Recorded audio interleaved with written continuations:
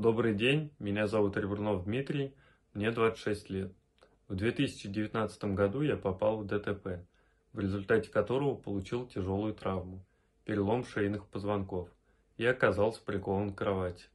По мере прохождения реабилитации удалось добиться определенных успехов, но для того, чтобы продолжить заниматься самостоятельно дома, мне необходим специализированный тренажер – Мотомед, однако стоимость его слишком велика.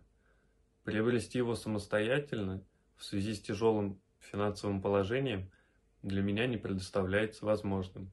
Поэтому я вынужден обратиться за помощью к вам, уважаемые благотворители. Очень рассчитываю на вашу помощь и поддержку.